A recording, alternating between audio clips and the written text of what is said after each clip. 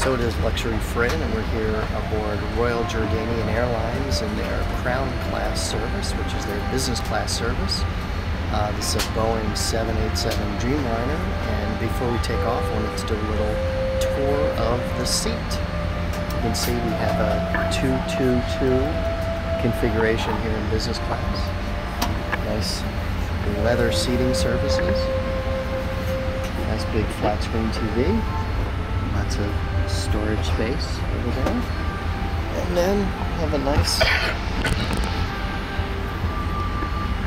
in-flight entertainment controls over here.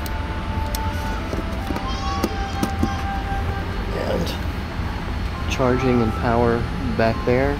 Little space for water. And again, looking forward to turning this into a flatbed to sleep later in the flight. So, Luxury Fred here aboard Royal Jordanian, headed to